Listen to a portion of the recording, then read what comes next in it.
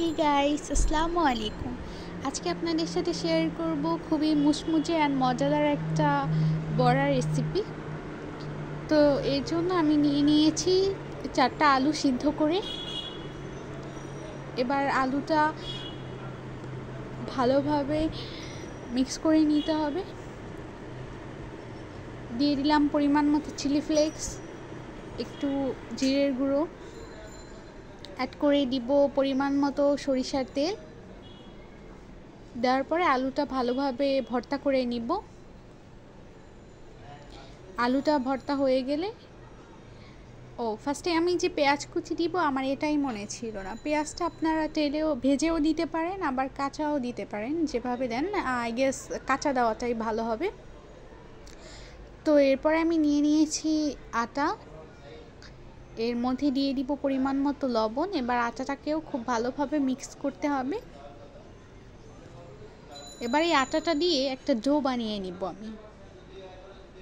আটাটা দিয়ে ডো বানানো হয়ে গেলে এটার মধ্যে আমি অ্যাড করে দিব পরিমাণ মতো মরিচের গুঁড়ো আর অল্প একটু পরিমাণ হলুদ গুঁড়ো।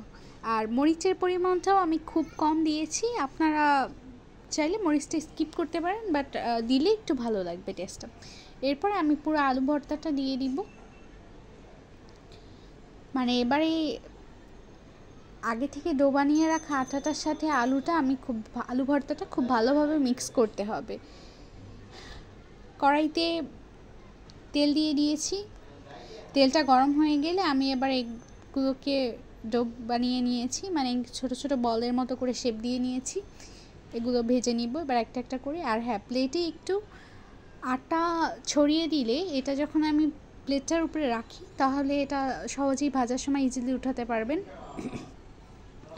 আর আমি এই জায়গায় সবগুলো দিয়ে দিয়েছি, এবার একটা একটা করে এইভাবে উল্টিয়ে দিব। আর একটা মজার ব্যাপার হচ্ছে কি, এটা হচ্ছে সব থেকে কঠিন কাজ আমার কাছে, যে এভাবে কিছু উল্টানো বা কিছু করা। যাই হোক, এভাবে আমি একটা একটা করে প্রত্যেকটা করে নিব। এই একটা কালার চলে আসলে পরে আমি এটা তুলে নেব। একটা সাইডে কালার আসছে। আর হ্যাঁ এটা অল্প ভাজাই ভালো, তাহলে এটা নরম আর মুচমুচে থাকে। বেশি ভাজলে এটা আবার কিছুক্ষণ পরে শক্ত হয়ে যাবে। তাই দুইটা সাইডে কালার চলে আসলে অল্প একটু ভেজে নিলেই হবে।